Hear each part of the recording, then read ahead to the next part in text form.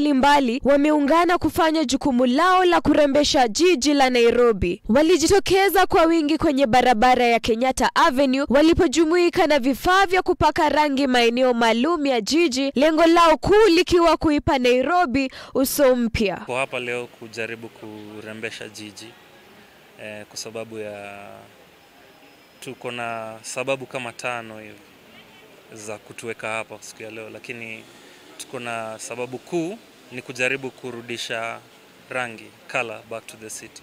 Ndio maana tuko hapa kama vijana. Tuko na maono ya jinsi ambavyo tunataka jiji letu likae baada labda miaka ishirini, miaka thelathini.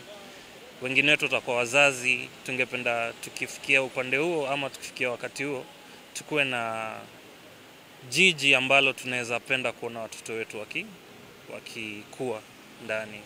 Lengo lao sio kurembesha mji wa Nairobi tu, bali wana mipango ya kueneza umaridadi huu katika maeneo mbalimbali za nchi. Hatujafanikiwa kupata ufadhili kwa project hii, lakini tulijaribu ku, kuongea na watu kadha wa kadha na mashirika kadha wa kadha, yakatupatia hela kidogo za kununua rangi, lakini sasa the initiative itself ni ya vijana.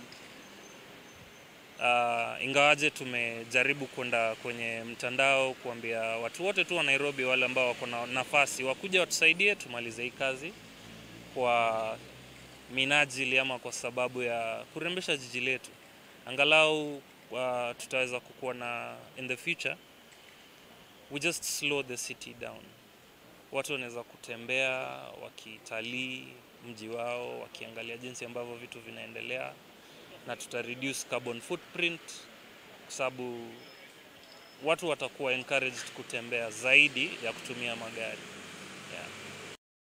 Wakazi wa Nairobi sasa watapendezwa na mji wao na kujihisi kama wenyeji wa mji wao. For it to also um, complement the people who use this space. Um, so trying to make sure that public spaces feel as inclusive as possible. And therefore, we are targeting um, the zebra crossings, um, the flower vases, the dustbins, and the bollards. And we're trying to give them more life to reflect the people who occupy and uh, use these spaces. So I think um, that's what we are doing for now. And hope you like it. Yeah, we're trying to train them how to use paint and make the whole city beautiful.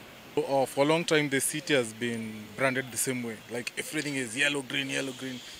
Now we're trying to add more color, more vibrancy, more funk to the city, to the whole thing. Vijana wanahimizwa kujihusisha na miradi ya kujenga jamii na pia kutumia talanta zao kujinufaisha katika sanaa mbalimbali. Njeri Ndegwa, TV47, Nairobi.